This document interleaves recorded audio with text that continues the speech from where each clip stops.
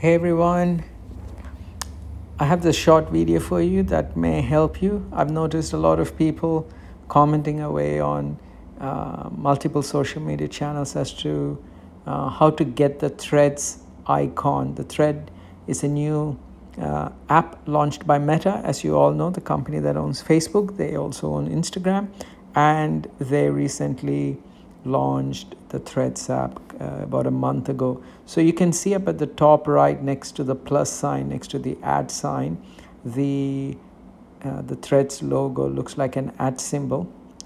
And how do you get there?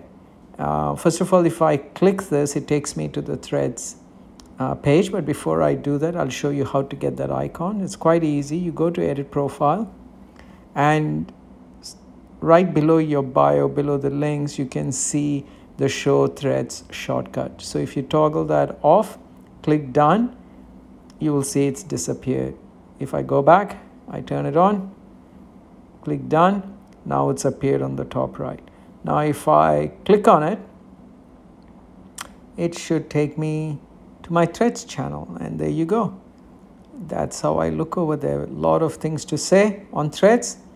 And if I go back to Instagram, I've got a lot of photos to show you. I hope that helped. And uh, yeah, now that you know the trick, share it with others. See ya.